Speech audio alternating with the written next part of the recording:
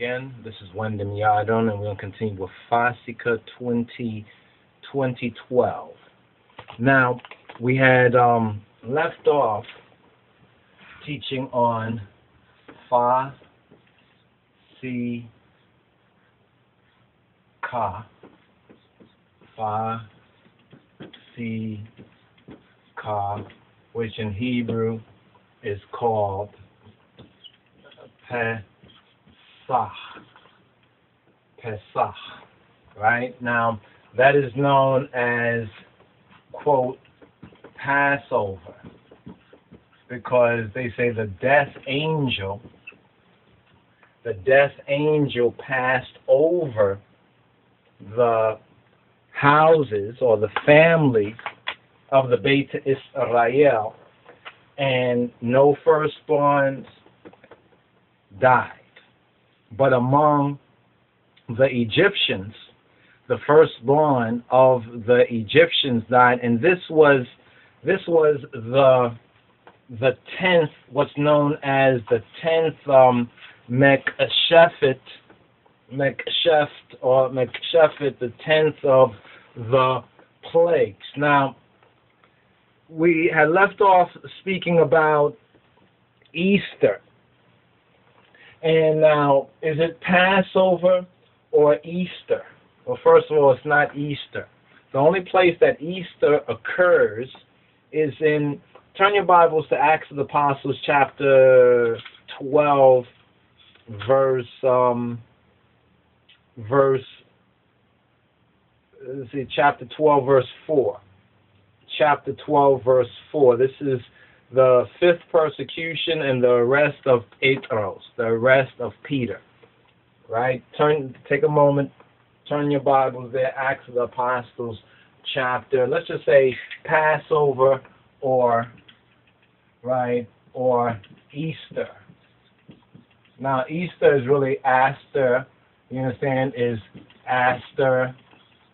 Some might try to even say Esther or Ishtar and Ishtar was a a pagan or a heathen festival, a fertility festival. Now this is a fertility goddess, right, or a fertility diva. Let's say it in a language that most folks today can understand. You know, you got divas running around today.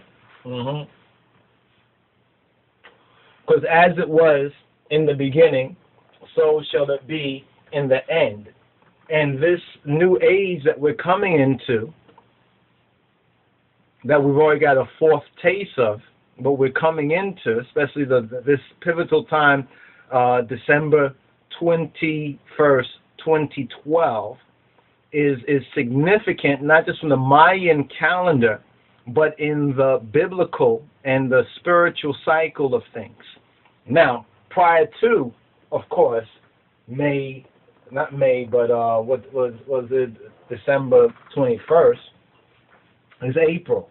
Is April season is the is what's called the spring equinox. Now, why the spring equinox? Because we are children of the light. We're not children of the darkness. We are children of the light. So, as Beta Israel, this high holy day, this is one of the key and the most important um, feasts and festivals for the Beta Israel, for the ethnic Hebrews and Jews, as well as for true Christian, for the true Christians. This this is a metasebia, it's a memorial. It's not Easter. First of all, let's go to have you turned your Bibles there to Acts of the Apostles. So the only place we find this this pseudo um, this pseudo use Easter, because you probably heard a lot of people talk about Easter's coming, Easter, Easter, uh, Easter egg and Easter bunny, so forth and so on. Those people have been lied to and deceived.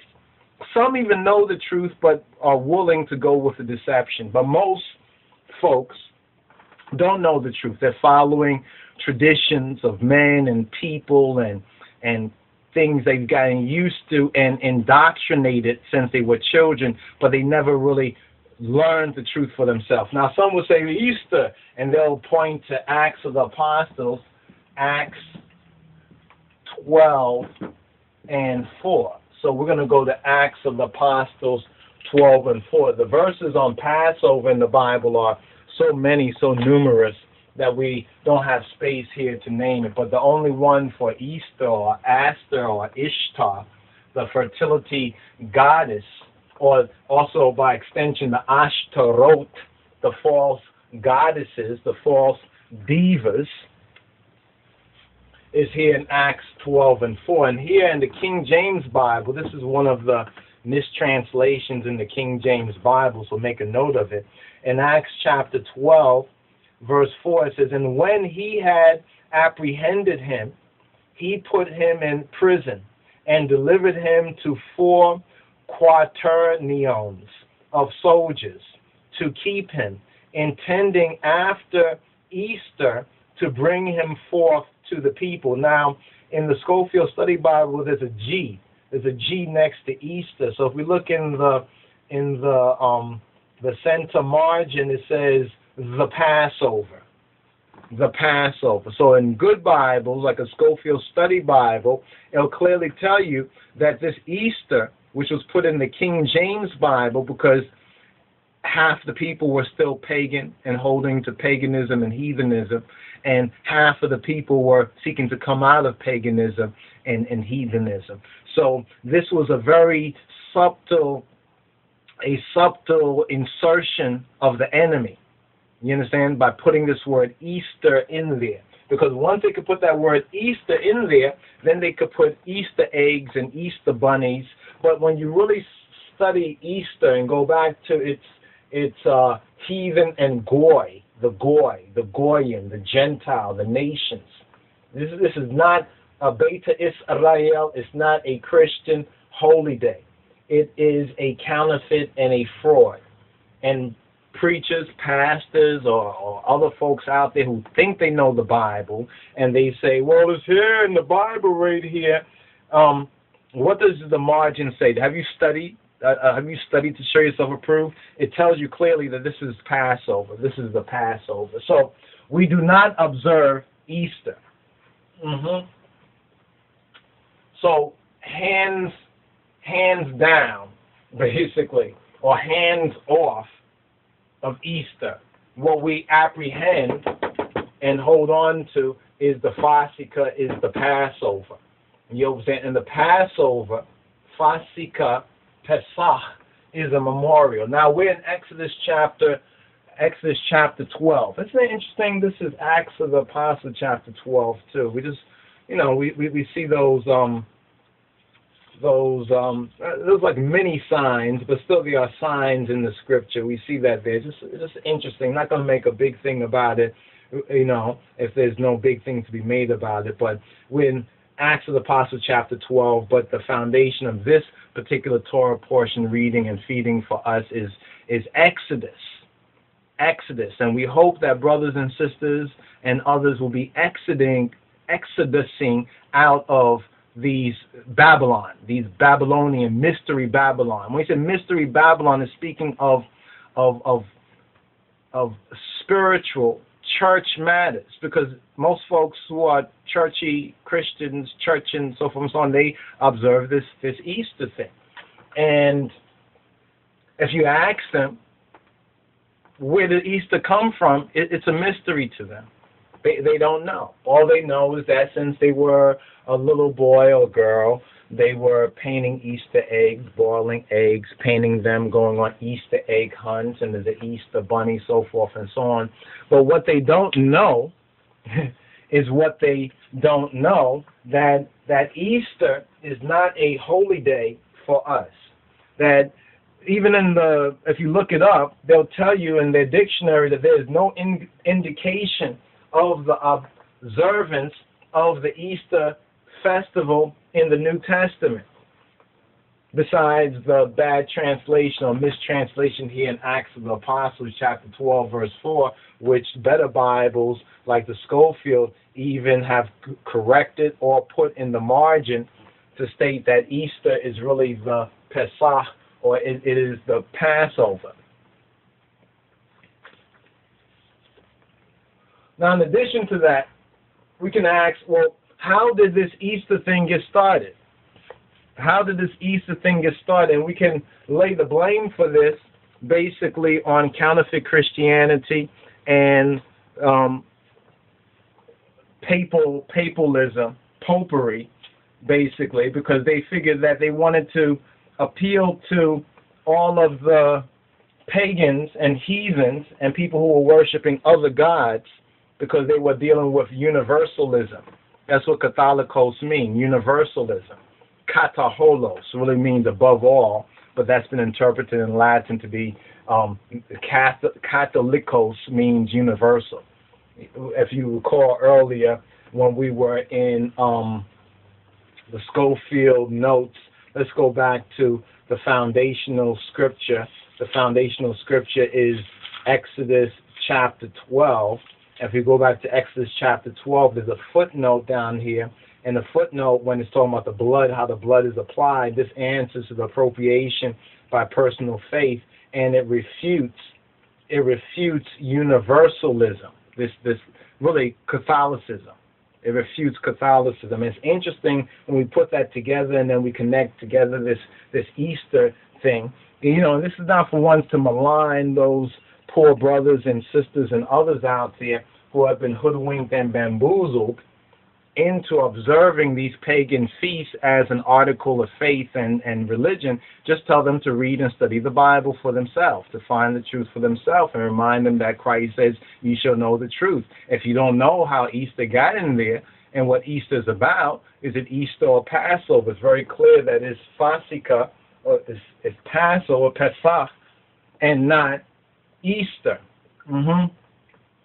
Because if you observe Easter, you're not observing Passover and you're not observing the true memorial of the Lord's Supper. You're observing a a a heathen, a Goyim festival, which is a fertility festival that is connected with certain lewd and lascivious uh, sexual rites. You know, a strip club, you know, and all of this sexualism that's going on now is nothing in compared to what the heathens did when they worship their false gods, demons, basically, in disguise. But how did Easter get started? Well, first of all, like we've been saying, it's rooted in the Ishtar, Ashtaroth, paganistic um, worship. You understand? Or idolatry.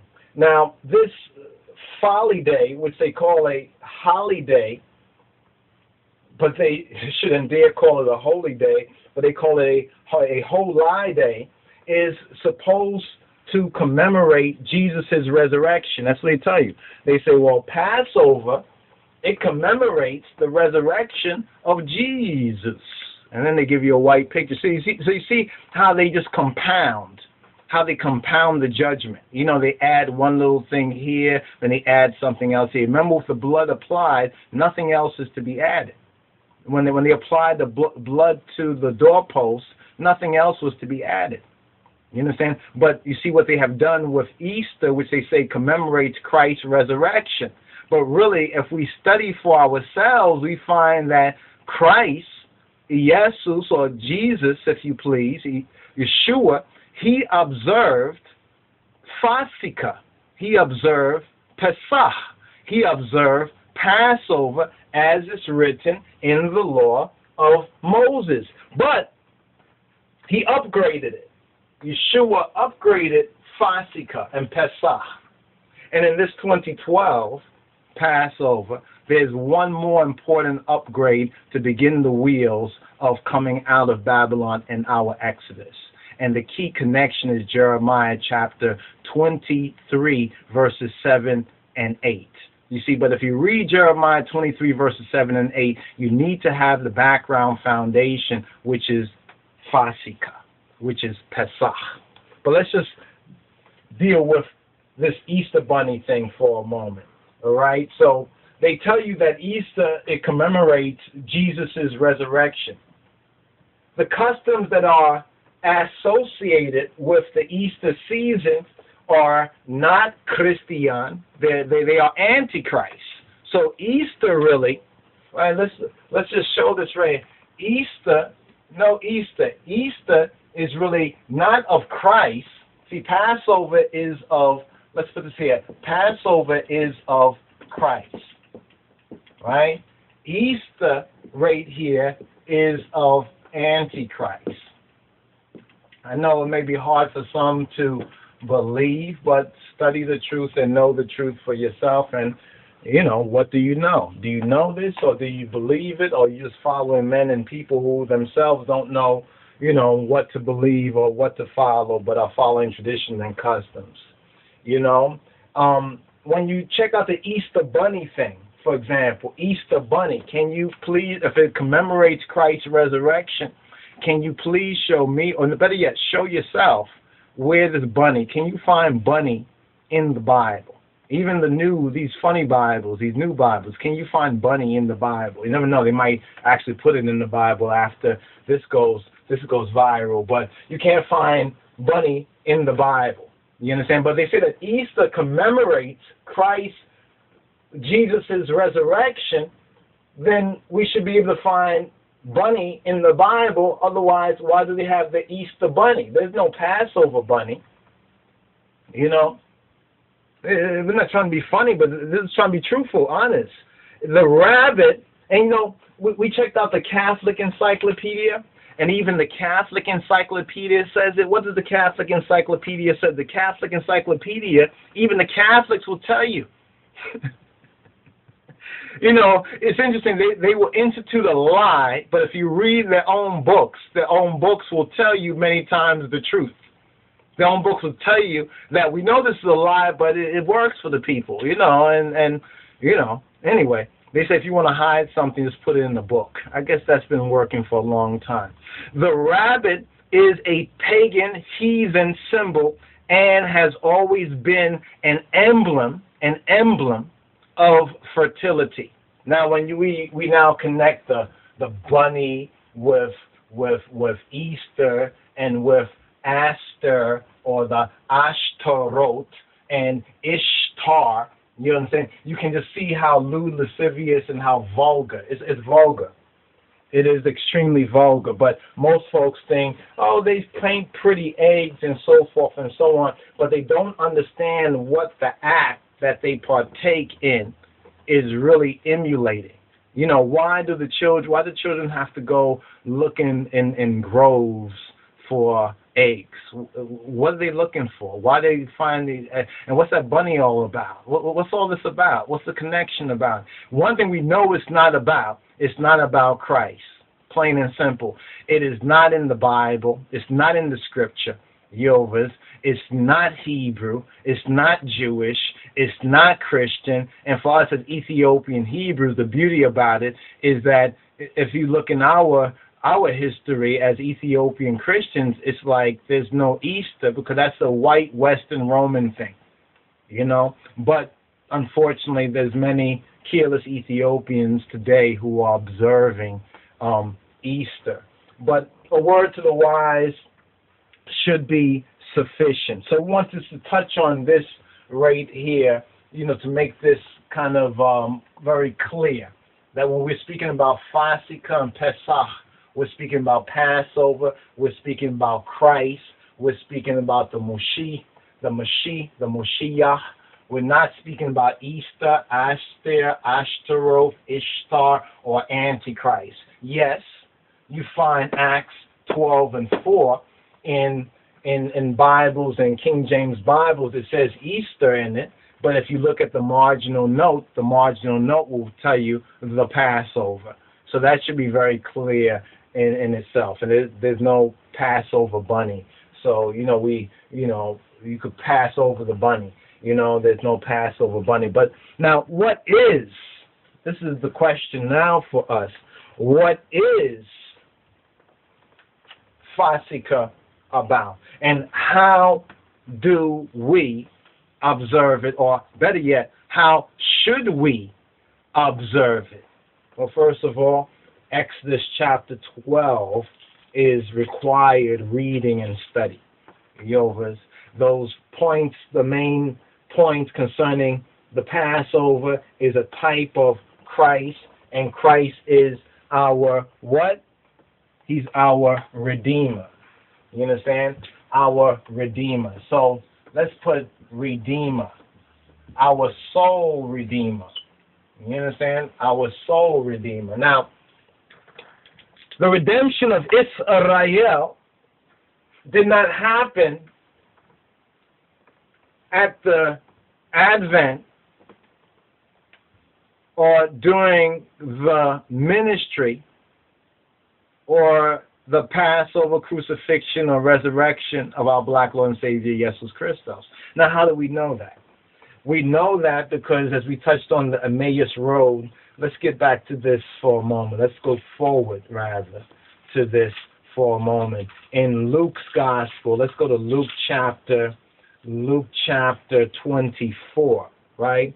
In Luke chapter 24. You remember the, the Emmaus Road when they were walking on the Emmaus Road?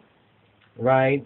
When they walk on the Emmaus Road, this is after the the um, resurrection of Jesus Christos, the ministry of the risen Christ, and there were certain disciples who were from a village or a region that was known as Emmaus. And we touched on this before, and let's let's find this area right here. As they were walking and talking together, Okay, it's verse 21 right here. Now, let's put this in the context of those who didn't pick up on it before. Just go over this once again. Verse 13, um, Luke chapter 24, verse 13. Behold, two of them went that same day to a village called Emmaus, which was from Jerusalem about three score furlongs, about 60 furlongs or 500. One furlong is about 582 feet. So times that by 60. You understand? And you can get the distance that Emmaus, the village of Emmaus, was from Jerusalem. Verse 14, and they talked together of all these things which had happened concerning the crucifixion, concerning the, the death, burial, the resurrection of Jesus, of Yeshua, right? and the empty tomb. And it came to pass that while they communed together and reasoned, Iesus, Iusus, Yeshua himself drew near and went with them, verse 16. But their eyes were holden, but their eyes were held back from apprehending that it was Yeshua, that they should not know him. Verse 17.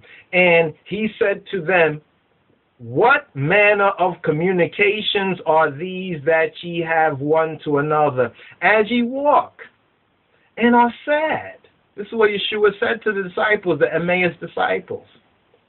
And, we're going to learn why they were sad. Just like why many of us might be sad or feel disillusioned. Because they had half the truth, but they didn't have the whole truth.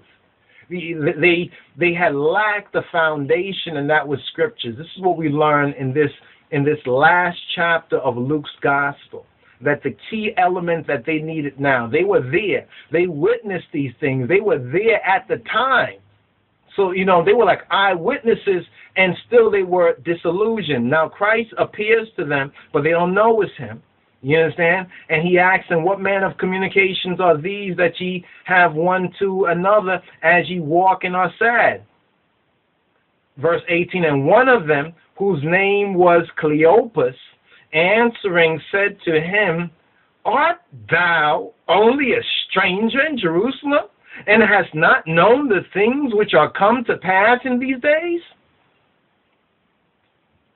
And he said to them, and Christ said to them, What things? Now, if you read this in the red letter Bible, it's interesting because the red letter shows Christ speaking, and so, so, so you'll see how limited his speaking was, but how powerfully to the point it was. But let's hear the disciples. And they said to him, concerning Jesus the Nazareth, concerning Jesus of Nazareth, which was a prophet, mighty in deed and word before God and all the people. Now, this is interesting. They considered the Emmaus disciples, who were disciples, remember we touched on disciples in John chapter 6, so that's, that's also very important too. Because some of the disciples had, because they could not receive, they could not accept the teachings, they went away. They walked back in, in John chapter 6, verse 66. you know, because they did not, they were not able to apprehend the word or receive the word as it was taught. And discipleship is tested by timherit, by doctrine, by the teaching. Both, both, if you're a disciple, then you're learning the teaching. Then you can speak the teaching, you can articulate the teaching, as well as live the teaching. You understand? Or seek to and and practice makes perfect. That's the key. He says, "Be perfect as our Abba, as Abba is perfect." And how they went on, he went on, Cleopas went on, and how the chief priests and our rulers delivered him to be condemned to death and have crucified him. Now, who was it? It wasn't the common people that crucified Christ, but it was the chief priests, the religious guys, the religious authorities, and our rulers and those who are ruling our secular rulers, who delivered him to be condemned to death and have crucified him. Now, here's the verse, verse 21. But we, Cleopas is saying, we as disciples, as the Emmaus clique, you know, and others also, we trusted that it had been he. We trusted, we, we, we, we, we, we amained. We had amained that it had been he. Notice they didn't say there's no Jesus Christ here. There's Jesus of Nazareth. There's no, he is the Messiah. You understand? There's no, he is the King of Israel. No. There's that he was a prophet. You understand? And he was mighty in deed and word before God and all the people. Now, here in verse 21, they say, But we trusted that it had been he. We trusted that it had been he which should have redeemed Israel. I want you, if you're reading that and studying that, highlight that part right there in chapter 24 of Luke's Gospel, verse 21, where he said that, but we trusted that it had been he who, he, which should have redeemed Israel. And beside all this, today is the third day since these things were done. And they're going to go on and say, Yea, and certain women also of our company, in other words, certain women who are also down with us, so there were female disciples too. Uh, there were certain women who were of our company. They were called holy women, in other words, but they were still of the company of disciples, made us astonished and which were early at the sepulchre. In other words, they, they, they surprised us. They were at the sepulchre early, and, and the stories they were telling. And when they found not his body, they came saying that they had also seen a vision of angels which said that he was alive. Can you believe this? So where strangers, where are you from? Remember, they're speaking to Yeshua, but they don't know it's Yeshua, right? And certain of them which were with us went to the sepulchre, eh, which is the tomb, and found it even as the woman had said, and found that what the woman was saying, you know, trust but verify. So they trusted what the woman, though, though it was kind of surprising, but let's go check this out anyway. And when they went to check it out, they say right here that it was as the woman had said, but him they saw not, but him they saw not. They didn't see him there, and they didn't recognize the one that was talking to them was he. You understand? Because he did not reveal or unveil himself. You understand? So when people talk about the second coming of Jesus, really it's the parousia, it's the unveiling, it's the uh, uh, uh, apocalypse or the the the revelation of Yeshua that we actually um, look for. But we know that He's with us. He's with us always, even to the end of this age. Right? Right. Now, verse 25 it says, Then he said to them, Oh, fools. What? Christ called them fools. You know, I, I smile because I think about the where he said that don't call your brother, you know, fool. But Christ called them fools. Because were they being brotherly? Not in the teaching of His Majesty. They wasn't being brotherly here. Oh, fools, and slow of heart, and slow of consciousness, slow of heart to believe, or better, my men to amen, to trust, in other words, all that the prophets have spoken. Notice how they translate the word trust here and they translate the word believe there. But if you go back, it's it's amen, it's mamen. Even in the Hebrew, it's mamen. In the Ethiopic, in the Amharic, it's mamen. At the root, it's the amen. And the amen is a person. The amen is Christ. Revelation chapter 3, verse 14. So they said in verse 21, but we trusted in Amen, uh, Naaman. Naaman, Naamin, you saying? We trusted that it had been he which should have what? Redeemed Israel. Now, if you go to, to Acts of the Apostle, they repeat the same thing about the redemption of Israel. And Christ told them, listen, you have you have other matters to focus on. That's going to happen in its due time. You understand? And just to prove it, let's just prove this to you that Christ, Yeshua, the, the Bein Ha Elohim, did not redeem Israel. So who who who who who's going to redeem Israel? The King of Kings has redeemed Israel. The Father has redeemed Israel. Right here, he, in, in Acts of the Apostles, chapter 1, this is the resurrection ministry of Christ and says, To whom also he shewed himself alive after his passion by many infallible proofs. In other words, he proved it over and over by many infallible, not just one thing, but many proofs, infallible proofs, being seen of them 40 days and speaking of the things pertaining to the kingdom of God, to the Mengishta eh, eh, Geziavihir, to the kingdom of Ha Elohim, and being assembled together with them, commanded them that they should not depart from Jerusalem or Jerusalem, but wait. Don't depart yet from the holy city, but wait for the what promise the tesfa, the expansion of the of the Father, the tesfa of the Ab, which saith he, ye have heard from me. So he said, first, wait here. It says, for John, Johannes, truly baptized with water, but ye shall be baptized with the Memphis Kadus, the Ruach HaKodesh, with the Holy Spirit. Here in the Bibles, your Bibles, it has Holy Ghost that part sometimes you either mentally or otherwise strike out that ghost and put spirit there because that's another uh, era of of, of of of of Jacob of King James, right? It says um, he says now John truly baptized with water. But ye, you all, and I and I, all must be baptized with the Memphis Kadus not many days hence.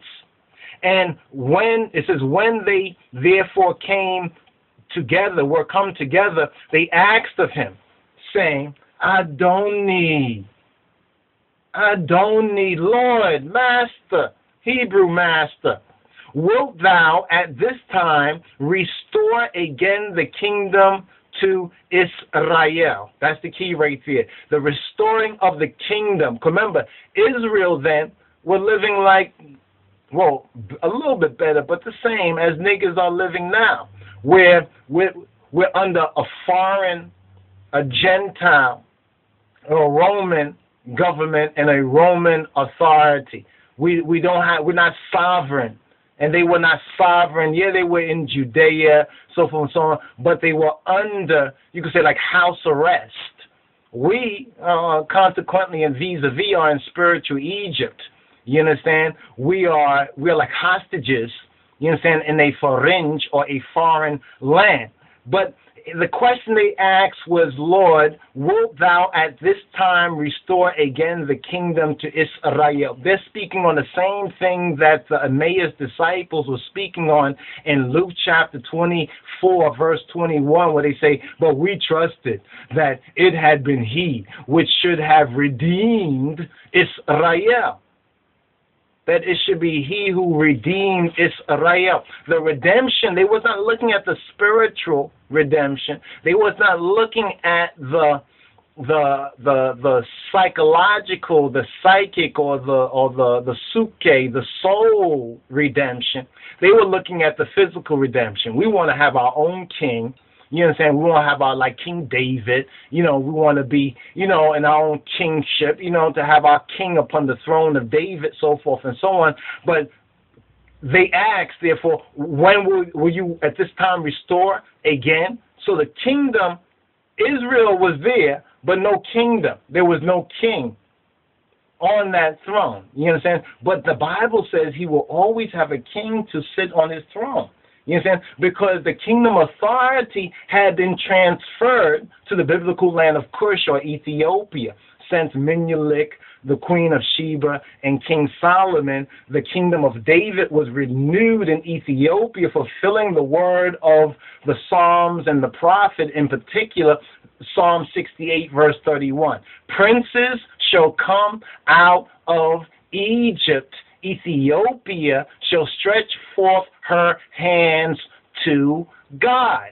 And this has come to pass. But Israel did not have that kingship. Remember, there was a wide diaspora. There was a diaspora even then. So there were some who were in the land, but many who were who were scattered about. Some in Egypt, some in Syria, some were in in Greece, some were in Rome, some were in um what I guess they call uh, Turkey today. You understand? Some were in North Africa, some were in in East Africa. Some were in Ethiopia. Some were probably further south, like the Lemba people. Some were in Yemen. You understand? Some were probably still in Iran. And even as far as China, for real, you know, that's where Israel was scattered. Remember, Yah's word was that he would scatter them, but there was a small remnant that was allowed to return. And these people here in that in that land, in, in, in Israel, Judea, were those who were saying, Will you now restore again the kingdom to Israel? They still are speaking on the terms of the redemption that was to be fulfilled and was fulfilled by Kedemawi Haile Selassie in 1930. And he said to them, It is not for you to know the times or seasons which the Father Abba has put in his own power, in his own shiltane, in his own authority. That's what it's speaking of. It's not speaking of the dudamus, physical power or, or, or that power, but power in the sense of his authority. So he says, not for you to know those things. He says, but ye shall receive power, the not authority power, but higher power, but God's power. After that, the Memphis Kadus, the Holy Spirit, is come upon you, and ye shall be witnesses, be witnesses to me in Jerusalem and in Judea and in Samaria and to the uttermost parts of the earth.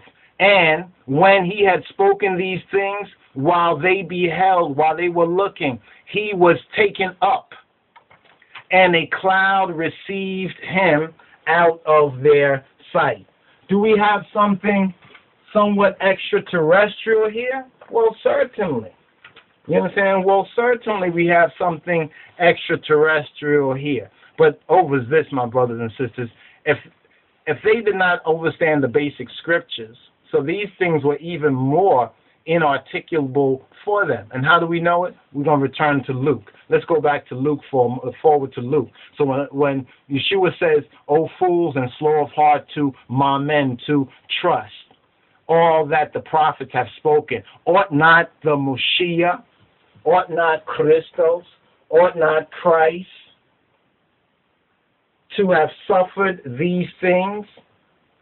The Lamb which was without blemish, but it was tested. It was it was it was slain. You understand? Its blood was applied to suffer these things and to enter into his glory, to enter into you see what well what a lot of folks are, are, are, are misunderstanding is that word glory right there. You understand? Glory is honor, but the but in this context concerning the Moshiach, concerning Christ, the glory is speaking of the Shekinah, the Shekinah, the, the Shekinah, the Shekinah. The Shekinah was that that that cloud that covered the ark of the covenant that went up from the ark of the covenant whenever the praises of the Beta Israel were acceptable with the Spirit of God, there was there was that, that light and that luminosity, that cloud, like the like the pillar of fire, you know, uh, of, of the Beit Israel above the Ark of the Covenant. So when it said that he went up into a cloud, it was no ordinary cloud. It was the Shekinah or the Shekinah cloud. You understand? Or the Shekinah, the Shekinah cloud. Actually, so when you you have when you understand His glory, His glory, you, you see, and and we're gonna have that connection. But here's the main point that we want to just connect with this this particular part of the teaching here is in verse 27. And it says, and beginning at Moses and all of the prophets. Remember, remember, he just he just he just um he just called them out. He called them out. I don't know if you'll say on the carpet, um, if you say on, on on the dirt road. He called them out where they were walking, saying, "You're fools and slow of heart to accept as true all that the prophets have spoken. Ought not the Moshiach to have suffered these things and to enter into his glory.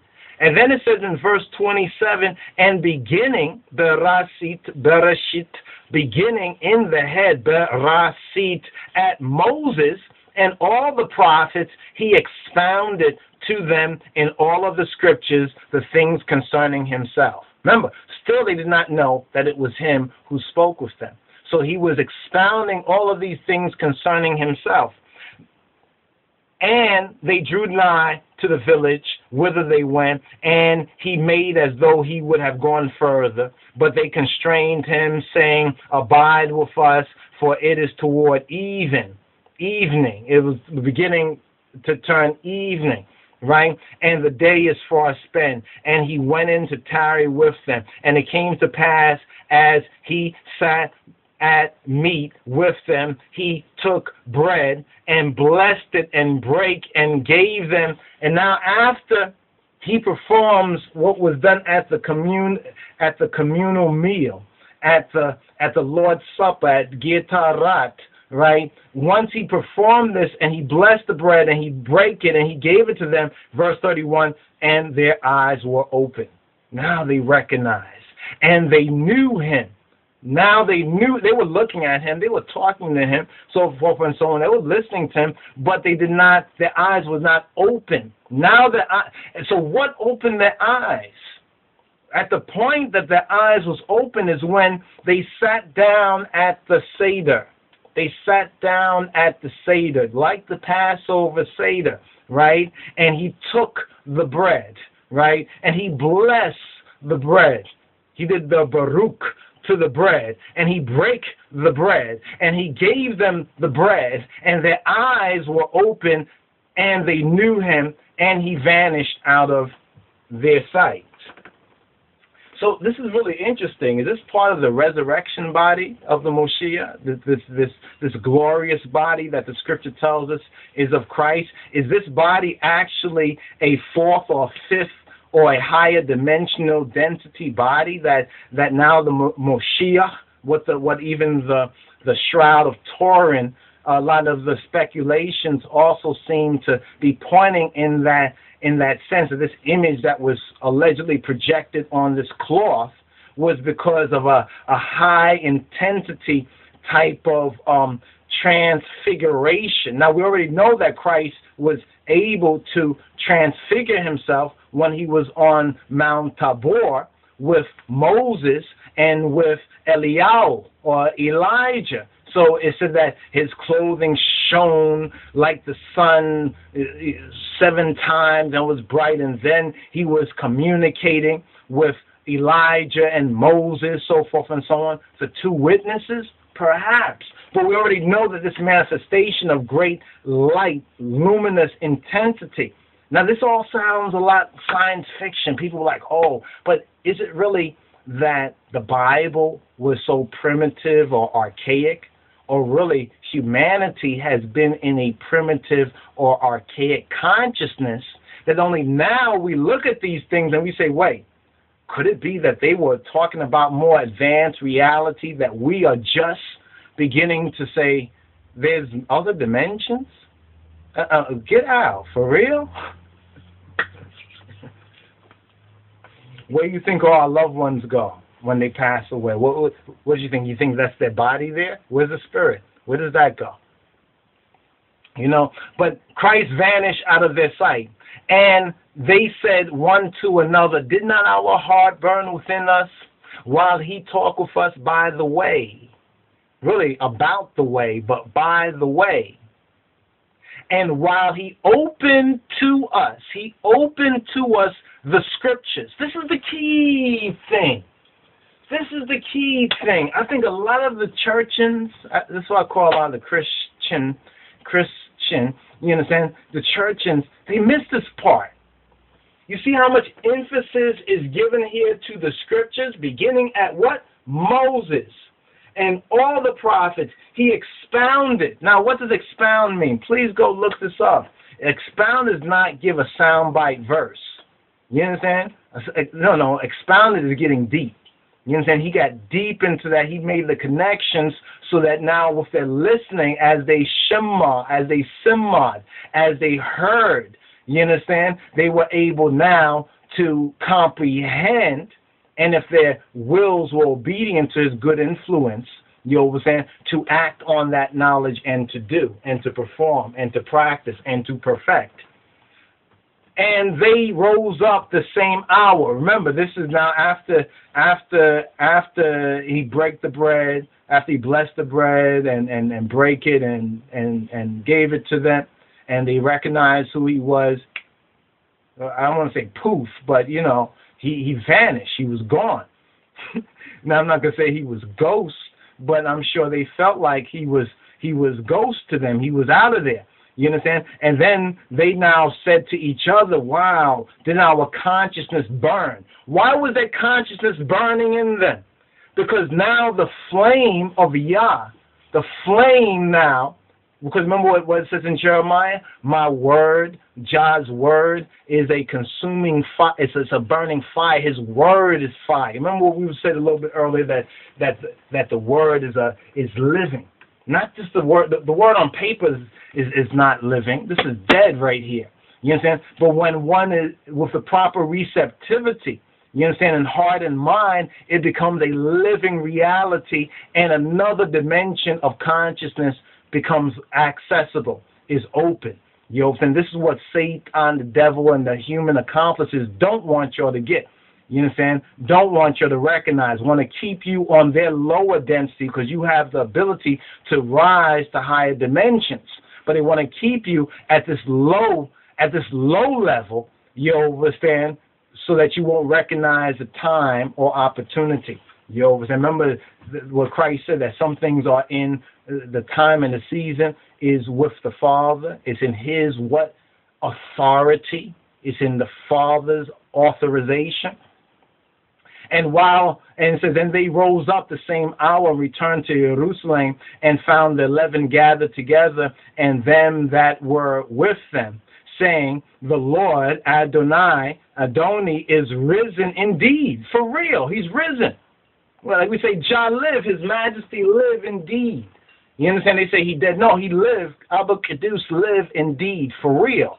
This is the same thing. He, he is risen indeed and have appeared to Simeon, have appeared to Simon. And they told what things were done in the way, what things were done in the way, the truth and the life, and how he was known of them in breaking of bread. Isn't that deep right there? He was known of them, because this is one of the key messages of Yeshua. He was known of them in breaking of bread, and this is connected to the Passover, the Fasika, the Pesach of the Redeemer. He was known to them when he broke that bread. That's the key thing right there. That's what Fasika is about, this, this breaking of bread.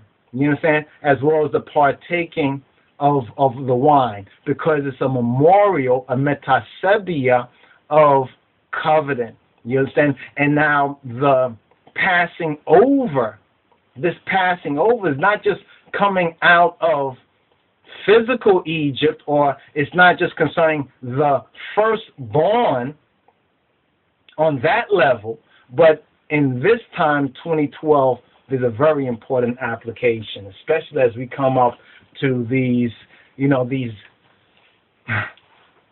days of tribulation. Know it. They're going to come. There's too much tension and inhumanity and wickedness that needs to be purified. You understand? And man doesn't seem to want to be stopping these things.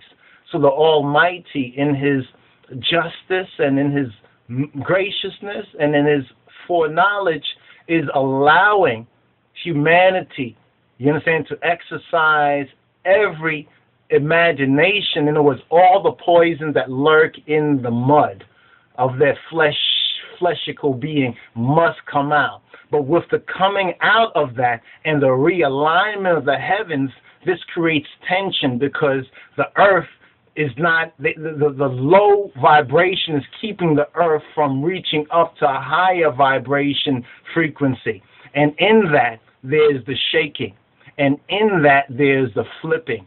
You know what I'm saying? I'm not just talking about somebody flipped out, but I, I don't know if I want to be on the earth that's that's flipping around. You understand that the poles are, are shaking.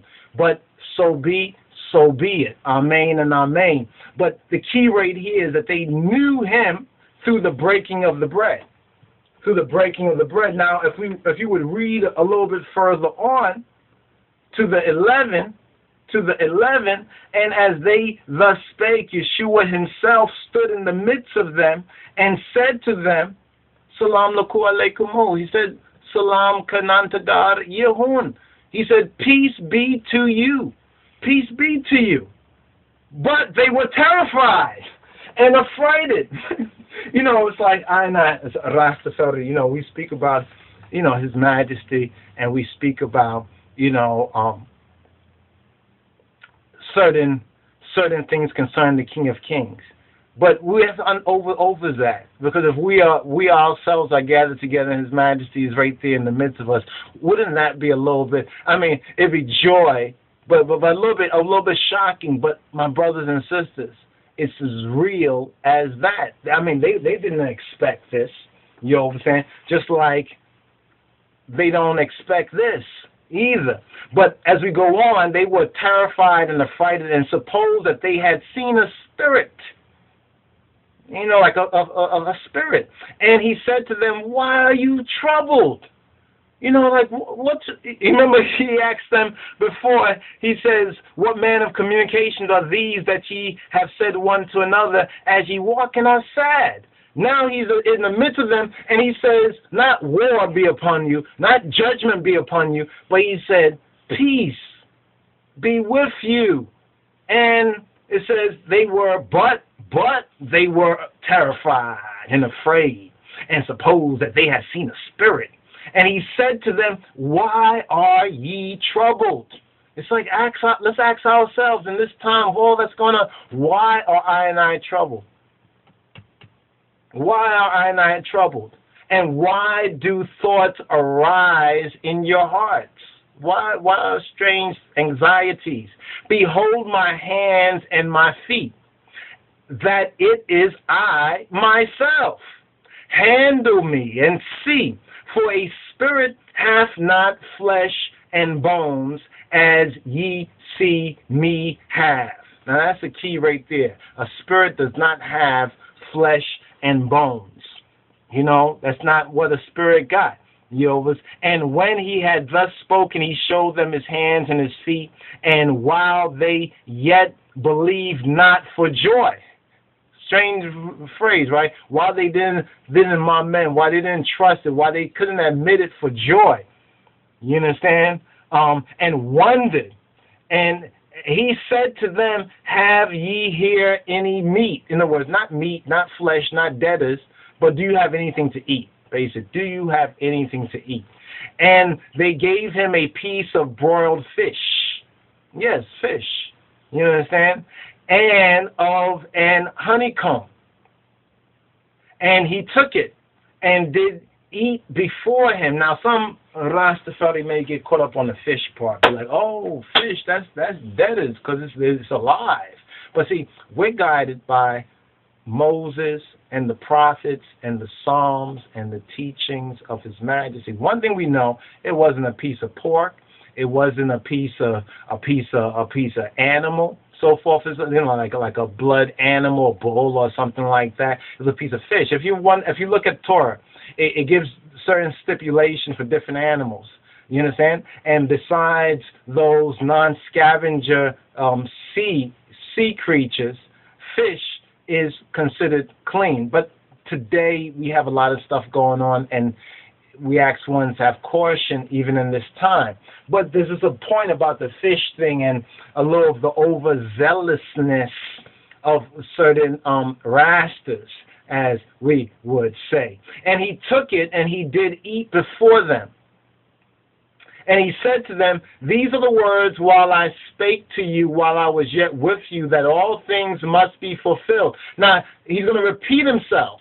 Now, notice this, this, this repetition. All things must be all things, not some of them. We can look in the scripture and see that many, but in some areas, some things have already been fulfilled. He says that all things must be fulfilled which were written in the law of Moses, Muse, and in the prophets, the Nabim, and in the Psalms concerning me, concerning Yeshua, the King of Kings and his Christ, concerning him. All these things must be. So in the law of Moses, Torah, so we study Torah. In the prophets and the Nabim, and in the Psalms, Mizmor Dawid, concerning me. Then opened he their understanding. Then he opened their, their overstanding, if you please, that they might understand, overstand the scriptures. My brothers and sisters, do you overstand the scriptures? Is your understanding or overstanding open so you comprehend the scriptures. If not, it's time to get to work. You understand? It's time to begin. It's time to get started or to continue. Then he gave them a commission to evangelize, which means to do as we are seeking to do, to spread this good news to those whom you are able and, and willing to. And he said to them, Thus it is written, and thus it behooves Christ to suffer and to rise from the dead the third day, and that repentance and remission of hatiyat or sin missing the mark should be preached in his name, in Yeshua sim, in Yeshua's shem, on in Jesus sim, in Jesus' name among all nations. So it doesn't matter what nation, tribe, all of that. All nations got to hear this. You see, the more we don't preach among other nations for little uh, kind of worldly, secular, racial, and other kind of retarded reasons, the more we delay, you understand, our future, the more we delay the age of God's peace and the fulfillment beginning at Jerusalem. Now remember, this connection in Luke and Acts of the Apostles, also said to be written by Luke chapter chapter one, is, is interesting. And ye are witnesses of these things. So now we get into the ascension of Jesus Christus, verse 49. It says, And behold, I send the promise. I send the promise of my Father. Now, how how was that interpreted? Did the Father make a promise? Did he make a promise of the Father? Or is it the promise of the Father actually the fulfillment of the coming of the King of Kings, Kadamawi Haile You understand? The promise of my Father upon you, but tarry ye in the city of Jerusalem until ye be endued, until you be clothed with power, higher from on high. Not power from down low, not not not governmental power earthly or, or secular power, but it clearly says, for lack of a better word, heavenly power, extraterrestrial power. It says endued, clothed. It says put on Christ. You understand? Is Christ an extraterrestrial? You understand? Put on Christ till you be endued with power from Kalai, Kasamai, from on high. And he led them out as far as Beit Ani, and he lifted up his hands and blessed them. He lifted up his hands and the blessing, and he blessed them. And it came to pass while he blessed them, while he was blessing them, he was parted from them and carried up into heaven. Wow, that sounds kind of like extraterrestrialist. That sounds like some space stuff. But of course, a lot of y'all believe that there may be aliens and stuff and like Star Wars and Star Trek, but but when it comes to this, no, it can't be that. He just was flying up and okay.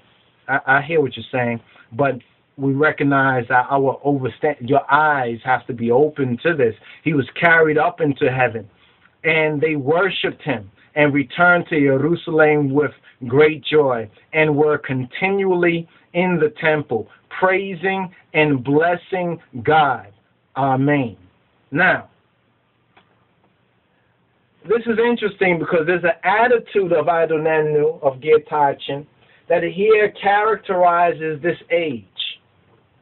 This age, oh, the age which is actually closing. One age is closing, another age, like one door is closing, another door is opening. But some people want to stay in that old door, which is closing. And it's not like the door is closing and they're going to be stuck in that age, but the whole age is actually contracting. It's actually, there is no age. There'll be no place. If they can't move into the next one, then you're like stuck between the ages.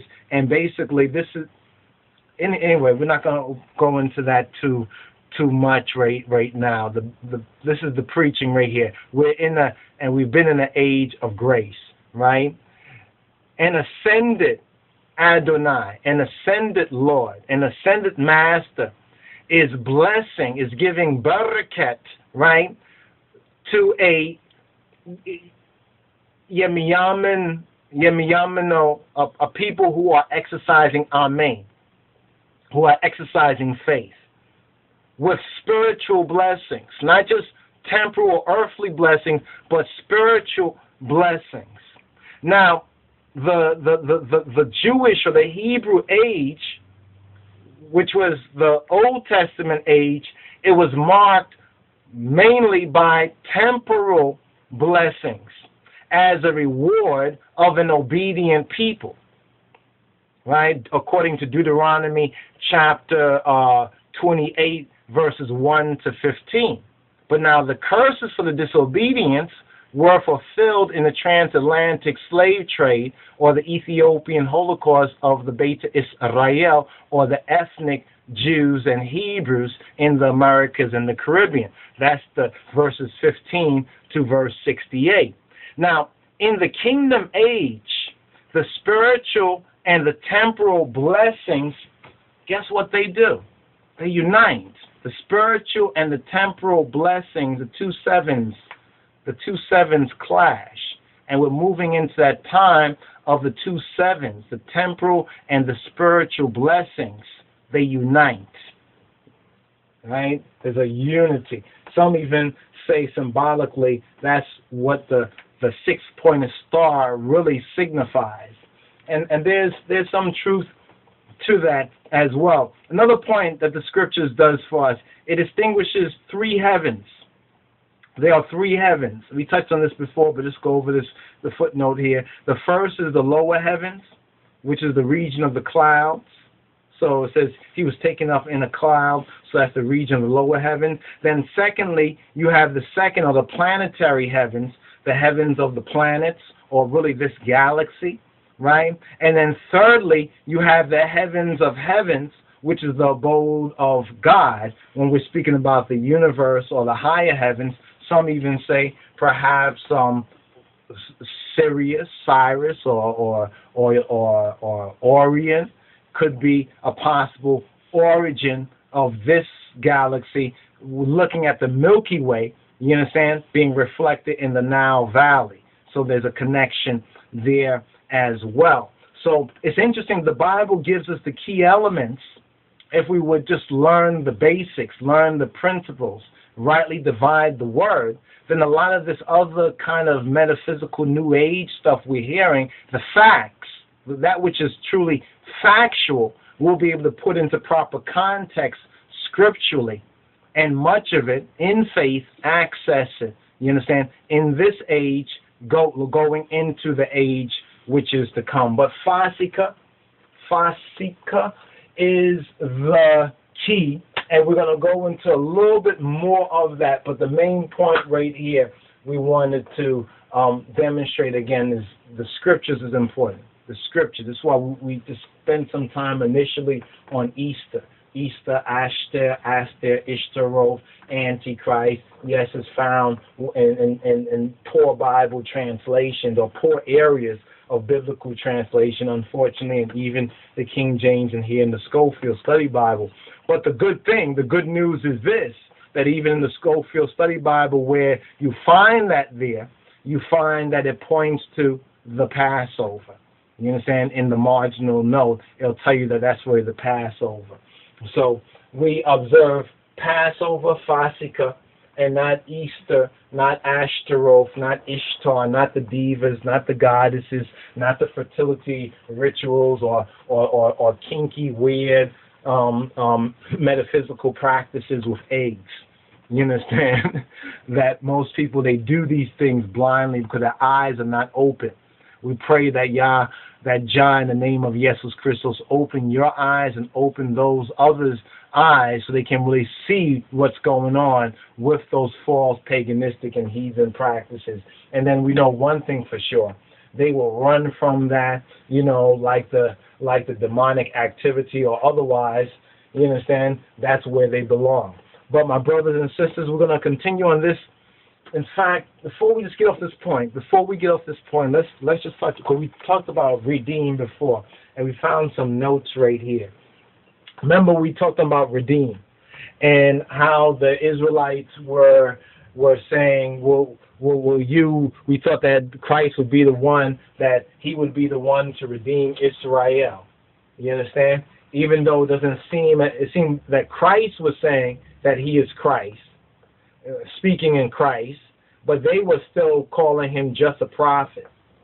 You understand what did Christ say? If you receive him as a prophet, you get a prophet's reward. If you receive him as a king, you get a kingly reward. As a lord, a lordly reward. You understand? Christ, a, a Christian reward. You understand? As God, a, a godly, a, a, a son or a daughter of God reward. So according to, you know, according to your receptivity or receptibility, so you will so you will receive him. And if if if you receive him as as um as as being unlike he, he is, then you may get a reward unlike what you expect too. So if if if you if, if you want to receive him falsely, then then folly is your reward as well. Now, redeem. Let's touch on this a little more. Redeem. Let's just get into a little lessons on this right here. Now, Passover is the first of the three the three main main holy days, main holidays, and main holy days, right? Um, what we have here is redeem. Let's touch on redeem. What does redeem mean? So we can understand, because this was the main question amongst them. They wanted, they, they, they expected that Christ, that Yeshua would have redeemed Israel because they wanted to get back their, um, their, their status among the nations. They wanted to be, you know, the kingdom. They wanted Israel to have its king again. This is why the chief priests and and, and, and Pharisees and the rulers, they used the cloak and dagger conspiracy against the King of Kings, against both the Father and Son, but first against the Son and then in 74, 75 against against Kedus Abatach and Abba Kedus. The same scheme and con, and, and, cons, and con, conspiracy. You understand? Um, but redeem is the key, right? Redeem. We have redeemer here, right? So we're going to touch on redeem, right? Easter is not redeemable. You, know when they say like something's unredeemable, they say like if you buy something you can't you can't get nothing back on that because garbage. You know what I mean? It's garbage basically. But Passover is all about this redemption. It, it gives it gives it gives us the spiritual foundation of the redemption. Remember what Christ said? Christ said, John truly baptized with water, but ye shall be baptized henceforth with the Holy Spirit. You understand? And then we have John saying that he baptized with water, but the one who comes after him will baptize with Holy Spirit and with fire. Remember the the Emmaus disciples in the house? They were saying, "Did not our hearts, uh, which is means the consciousness, the consciousness in man, did not burn within us when when He spoke?"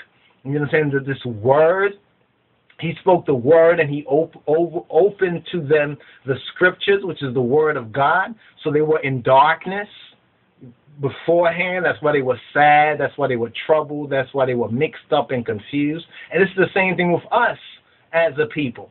You understand? And us as those who carry the name of the redeemed, because we are not founded and grounded on the word of truth, which is his word. Remember, he says that he said he said the flesh don't profit anything.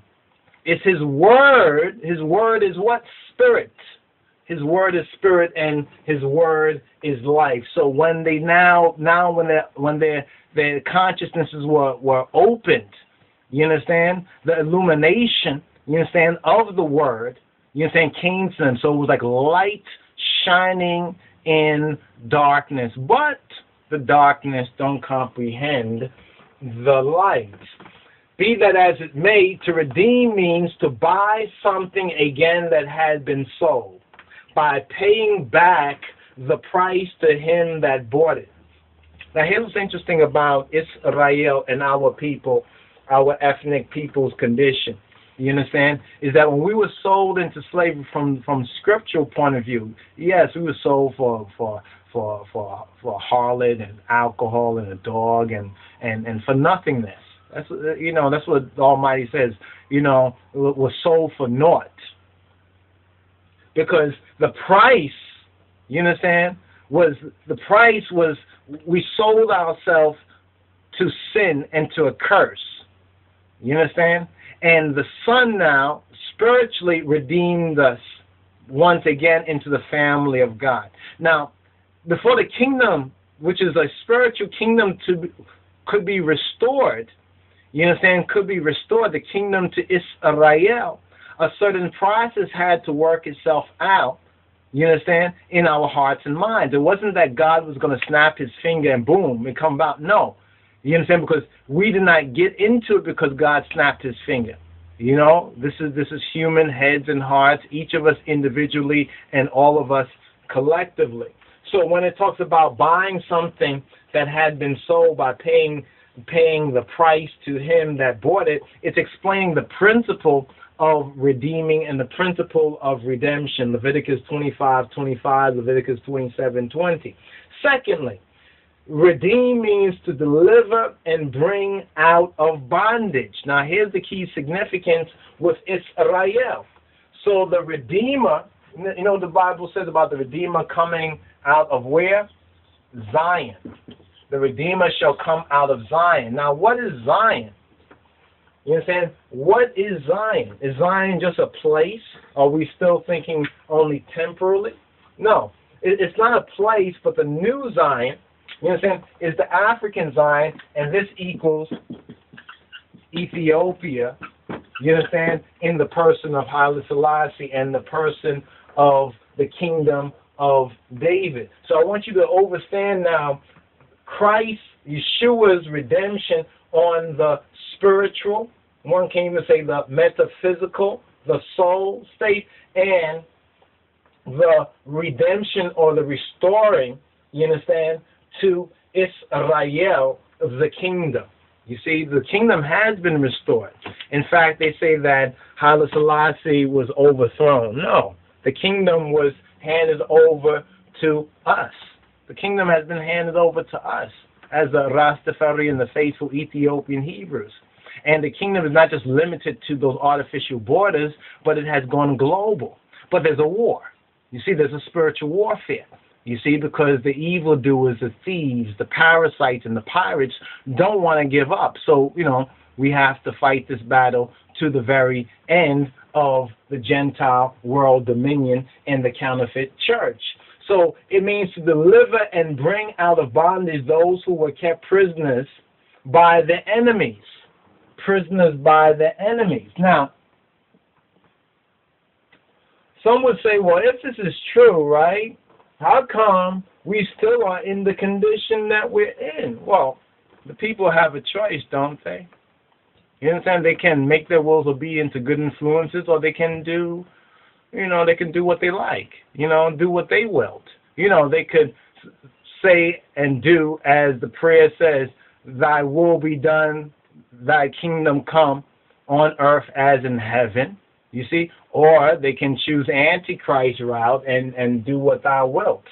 You understand? The choice is still theirs, but the opportunity of redemption because of the kinsman redeemer now has come. So this is what we have the promise of the Father. Remember Christ keeps saying that these things, the kingdom being restored, that's that's with the Father. That's in the authority of the Father.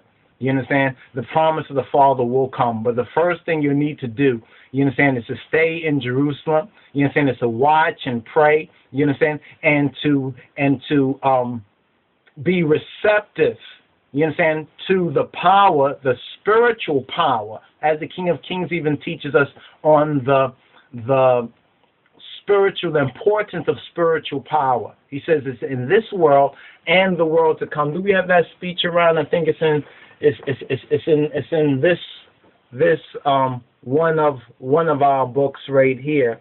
But you can find the speech elsewhere as well, where His Majesty says something very, very interesting, and we want to just um just uh, referred to. He says, to make our wills obedient, page 46 of the Good News of the Gospel of Him, the Good News of Him, Book 1. It says, to make our wills obedient to good influences and to avoid evil. It's to show the greatest wisdom. In order to follow this aim, one must be guided by religion. Now, let's understand this. The word religion doesn't exist in Amharic. What His Majesty is saying is hymenot Hymenot means the living faith, the true faith, our our our Judeo-Christian faith. You understand the true faith that's based on the true word and the testimony of God and Christ. Progress without religion or hymenot is just like a life surrounded by unknown perils and can be compared to a body without a soul. So this is what we're witnessing now. We're witnessing a lot of bodies, a lot of a lot of folks running about, but if they are without the true and living faith, they have lost their soul. So you see with the Psalm 23 so that he restores our soul for his what? For his name's sake. What does Christ tell the disciples? To go forward right? And and preach this in his name, for his name's sake, for the sake of his name, not for the sake of my name or your name, but for the sake of his name. We do this ministry not for the sake of our name, but for the sake of his name and for the sake of his truth and for the sake of his good news, the good news of the King of Kings and his Christ. Now, continuing, knowing that material and spiritual progress are essential to man. So the Master's not saying just just be holy moly spiritual, spiritual up in the sky, up in the air, or in some metaphysical domain also, but physical foundation, metaphysical, physical, metaphysical, spiritual, material, spiritual. The two are one because you, if you're alive, right, you have flesh, material, but you must have a spirit, even a little bit of spirit, you understand, if you are alive. So the spirit and the material is abiding even in you and I and I. So you, if you get that reality, you should be able to get this reality. If not,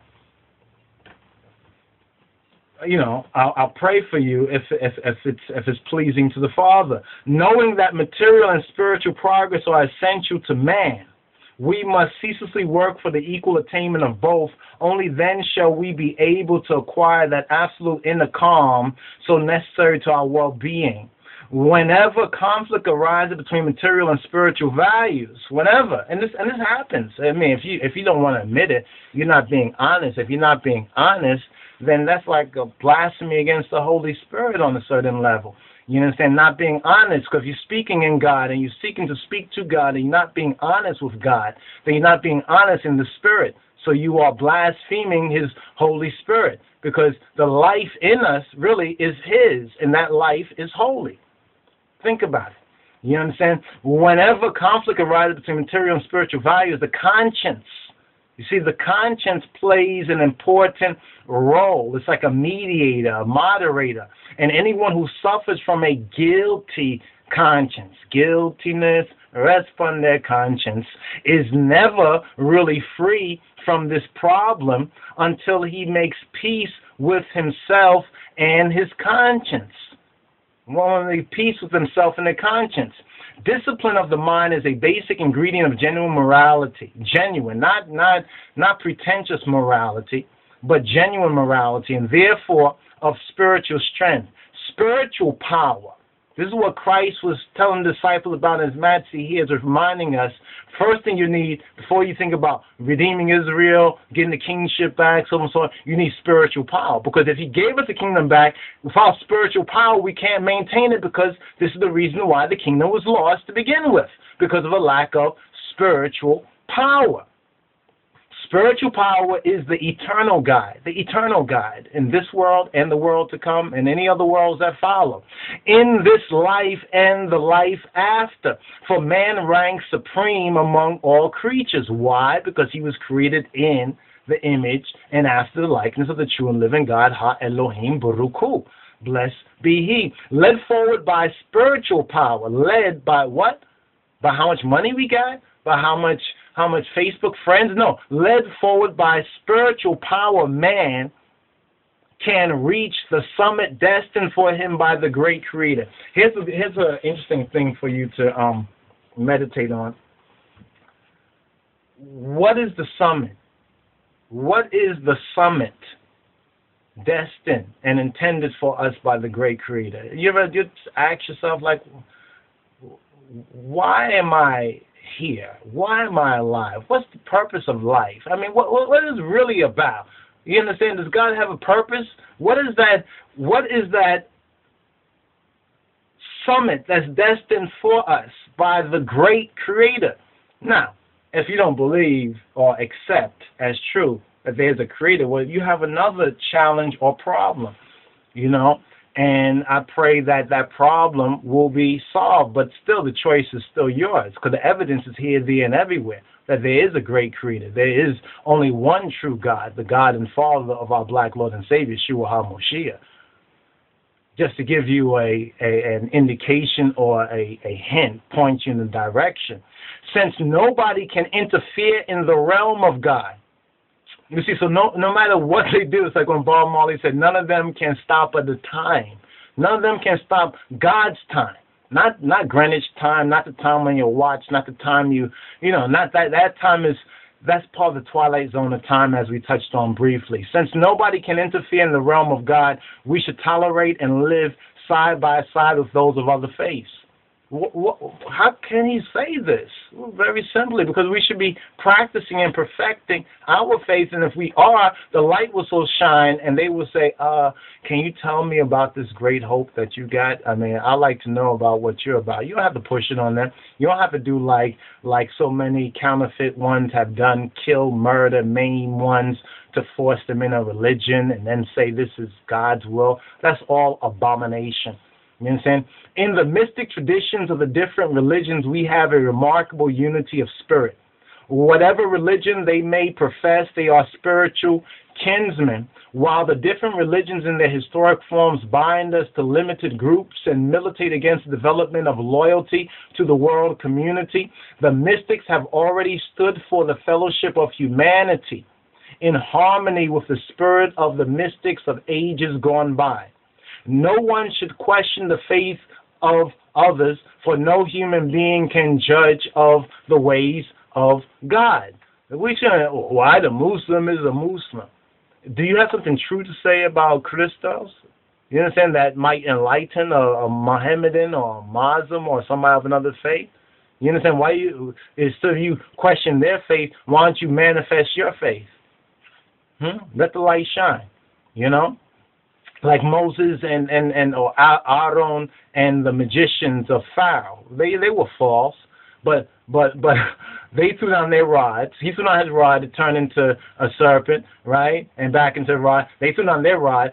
His rod swallowed up theirs. So that is an example of how we should walk in this in this way. It doesn't mean that other faiths don't have their errata or errors. You understand? But to question, well, why that person such and such, you know, is not the approach of the King of Kings and his Christ. However wise or mighty a person may be, he's like a ship without a rudder if he is without God. A rudderless ship is at the mercy of the waves, and the wind drifts wherever they take it. And if there arises a whirlwind, it is smashed against the rocks and becomes as if it has never existed. You see, when I read that and I meditate upon that, I think about this time we're in and the, and the accelerating um, manifestations that, that that are coming upon humanity. And if we are rudderless, you understand? And we just list any way, which way, so forth and so on. Then the whirlwind, the whirlwind or whirlwinds that are coming will smash one's physical, psychical, and spiritual so-called ships against the rocks, and it'll be like it'd be like they never existed. Now here is the penultimate, or here's the here, here's the point. It is our firm belief or our main, It's our firm hymenos, living faith, that a soul, not a person or what, no, he's speaking to the soul, that a soul, a psyche, a, a, a psychological state that's without Christos, that's without the Moshiach, our black Lord and Savior Jesus Christ, is bound to meet with no better fate. Or you could say a bitter fate. The love shown by our God by our God, Eloheinu, to mankind, to humanity, it should constrain all of us who are followers and disciples of Christ. So His Majesty is clearly speaking from a perspective of we as followers and disciples of the Moshiach of Christ to do all in our power to see to it that the message of salvation is carried to those of our fellows who have not had the benefit of hearing the good news. And see, this is the point. That as many of our brothers and sisters all over the world, uh, I mean, as human beings and as potential children of God, all over the world, who haven't had the opportunity to hear the, the true good news of the King of Kings and His Christ. All they heard about, you know, they've heard about another Jesus, but they haven't heard of the true Yeshua our black Lord and Savior. So this is this is a very important word here, how it connects with redemption, how it connects with this time of Fasika, the time of passing over. Because if you don't pass over, you, you ain't going to underpass. You, you, you're going to pass out. You understand? In other words, it is our conviction that all the activities of the children of men, which are not guided by the Spirit, so it's Majesty saying that our our activities should be guided by what? The spirit and counsel of God will bear no lasting fruits. They will not be acceptable in the sight of God and therefore go into that new dispensation. You understand? Go into that kingdom age. You understand? They will be burnt out. It will therefore come to naught. It will come to nothingness as the Tower of Babel came to nothingness. So this is also very interesting how the Master is connecting what happened at Babel with this same sort of apostasy and time that we are in currently. The grace of God is eternal. Angels in heaven and the creation on earth sing his praise. We thank the Master of the world, Almighty God. Power or higher belongs to God made God our creator, the helper and guiding light of us all, grant you his wisdom, his wise mind, that you may bear fruits for his glory. As Matthew says, for my part, I and I glory in the Bible.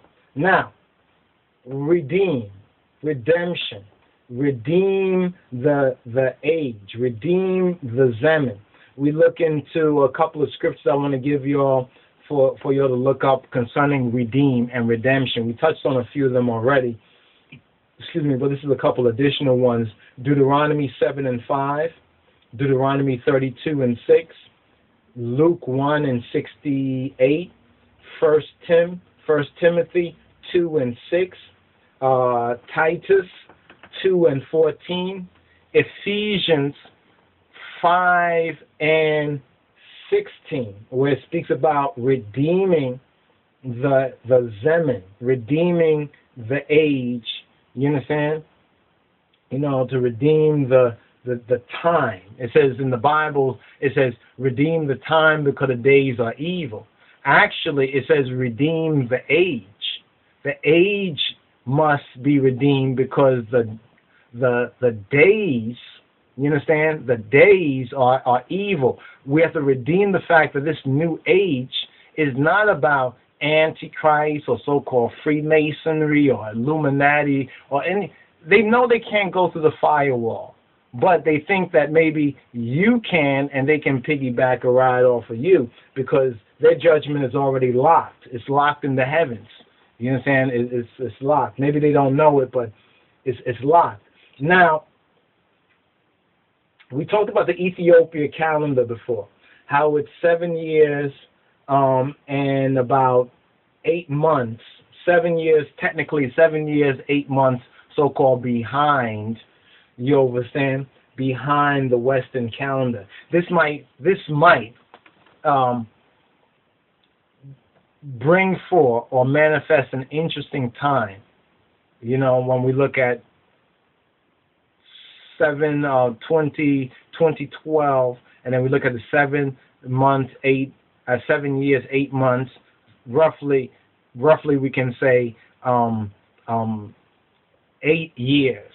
So we have, is it really 2012 or is it is it 2020, 2019, 2020?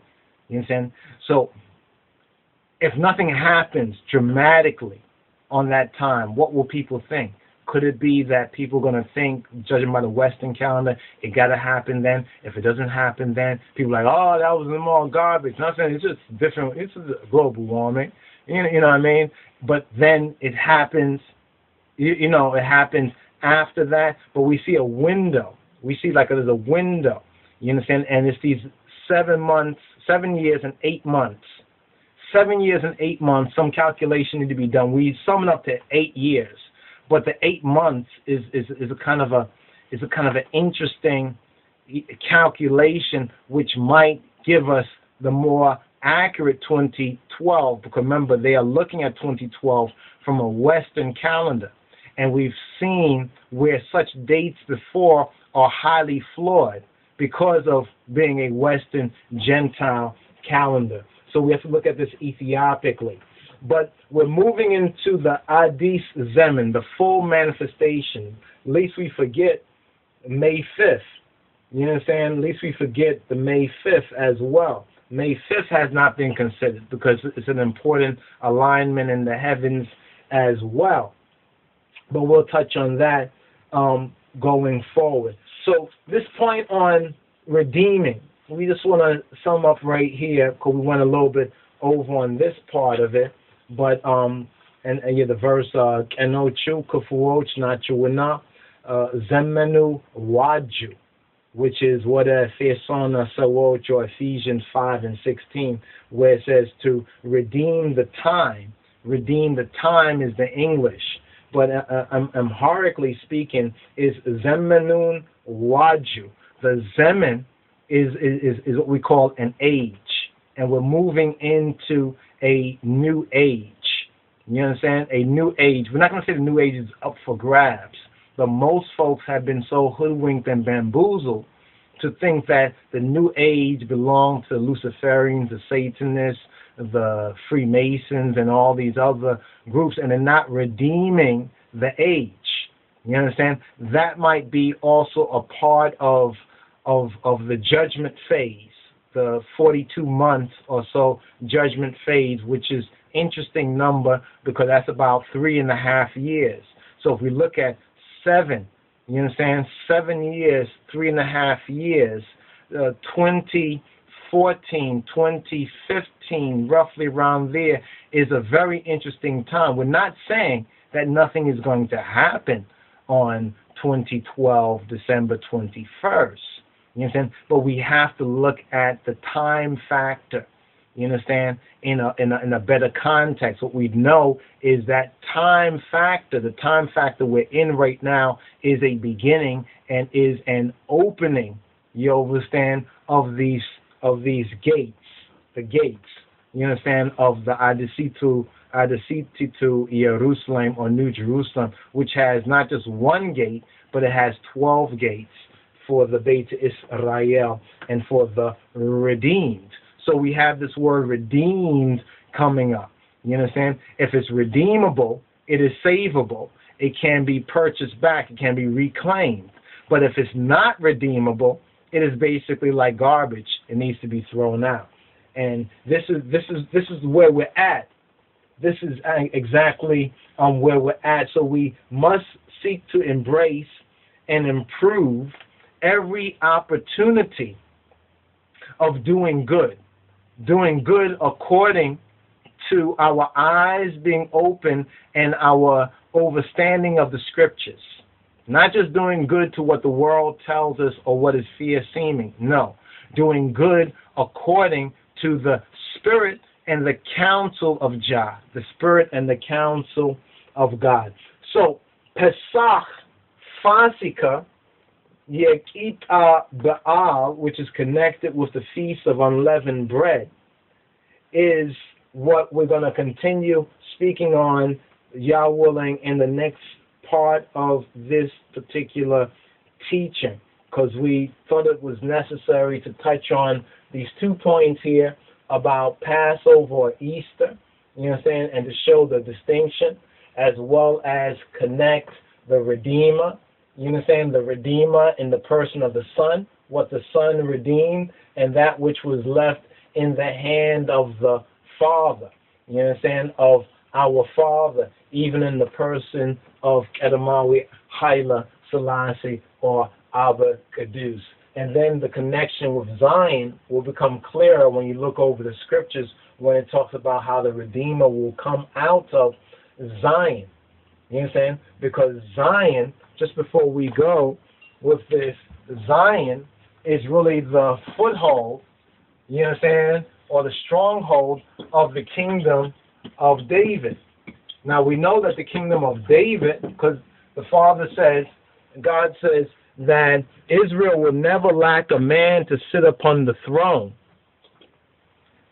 of David, or the throne of Israel, which is the throne of David. The throne of David is the throne of Yahweh, the throne of Jehovah. The word says this. The throne of David is the throne of Yahweh, of Jehovah. Isn't it interesting that the throne of David, which is a man's throne, a, a, a human being, you know, David was a man and he sat on a throne, but that throne will be called at the same time the throne of Yahweh, the throne of Jehovah. Now we know that the Son of Christ Christos, Yeshua, did not sit on that throne. That wasn't his mission. He was crucified because they lied against him, saying that he called himself a king instead of Caesar and all this garbage and everything like that. But that's how they blasphemed the Son. You understand? But we know that uh, that uh, restoration of the kingdom to Israel, which is the kingdom of David, was renewed in Ethiopia. And this is where we get the connection now with the true Zion, the true Zion, the true Zion. And we'll touch on Zion a little bit more as well, because Zion now, connected with Ethiopia, is also connected with, before we go, the, connected with the ark. So we have the ark of the covenant. Now, remember, he made a covenant with David. You understand? Concerning a kingdom. Now, note, note this as well. Israel, when it was united, that means all the 12 tribes and the two major portions, Israel, the northern 10 tribes, and Judah were connected as one. But we understand from the history that they split. Israel you understand the ten tribes was was um, some say destroyed, some as a as a as a as a homogenous entity, but they were scattered. They became the lost sheep of Israel, the ten tribes. Judah remained, but Zion, which links with the Ark of the Covenant in Ethiopia, we call the Ark Zion. So that's the connection with Ethiopia. That's the connection with the kingdom of David. That's connection with this, this covenant that also fulfills Psalm 68, which, which actually is a Tabot psalm. Psalm 68, when it says, Let Jah arise, let his enemies be scattered. If you go to um, Numbers, that's exactly the protocol for the Ark of the Covenant. When the Ark of the Covenant is going in procession, that's exactly what Moses, the head of the fraternal order of the Beta Israel, the Lewawi and the Levites, that's exactly the key word. There's certain key word, like like in an army or military. There's certain code word, password. That's one of the passwords. Let God arise, let his enemies be scattered, let those that hate him flee before his face. You understand? And then we have that in the significant psalm that connects Zion, the Ark of the Covenant, with Ethiopia, with the kingdom of David, and with his imperial majesty, and thus vis-a-vis with I and I, the lost, once lost but now found Beta Israel in the west. So now this is what brings it full cipher on that level. But redeem and redeem, I think, is significant because when we say his, his majesty is the kinsman redeemer, something, well, what about the Son? What about Jesus Christ? Remember, the Father and the Son is one, right? And and if we receive the Son who was sent by the Father, the Christ said, we all are one. That's Tawahido. That's also found in Zion, Ethiopia, Kingdom of David, and the basis of this foundation of the Ark of the Covenant Christianity that we know as the Rit'it Haymanot, or the true faith of we as Ethiopian Hebrews. Now, we're going to touch a little bit more on Fasika. So stay tuned, brothers and sisters, for that one. And once again, we say Shalom Rastafari.